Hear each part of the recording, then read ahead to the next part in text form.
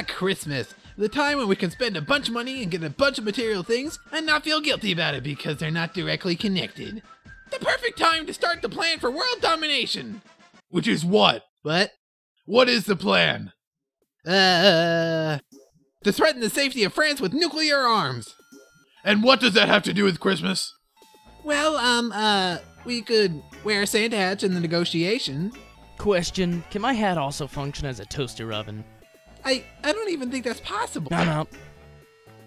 Okay, this plan is falling apart. Uh, how about we just throw a Christmas party and, uh, have fun at it?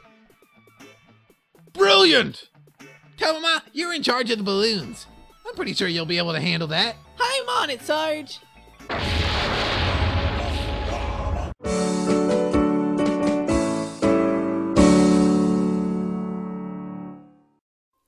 Looking forward to the Christmas party extravaganza party special. Yep. What kind of pie should I bake for it? I can make apple, cherry, and orphan. What was that last one? Cherry? Fuyuki, I need to know what gift I should buy you for Christmas. Well, you could get me a new globe. This one's been looked at already. Ooh, can I have this one afterwards then? No! Before the party can start, the house must be spotless. Now get cleaning. What sort of witchcraft is this? Some sort of invisible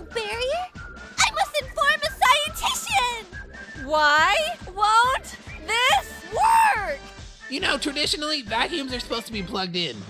So this isn't a paintbrush? I must decide which of these books to throw away.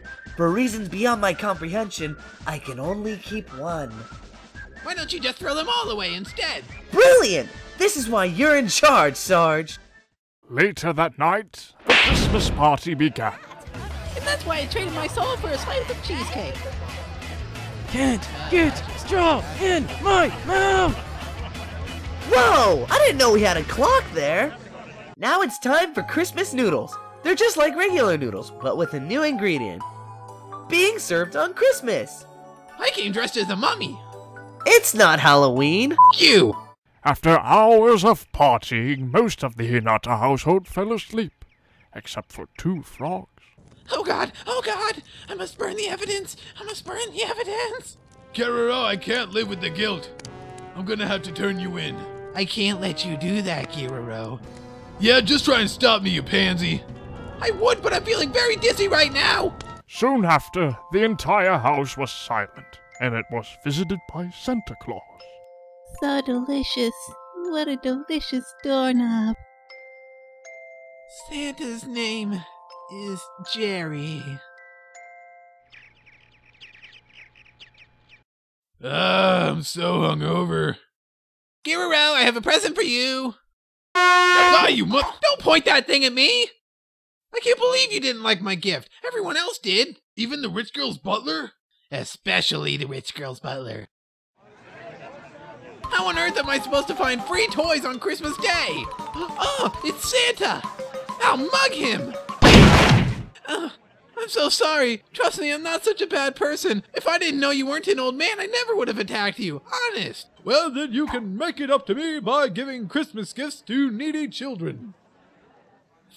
So the frog guy spent the rest of the day unwillingly handing out presents to children.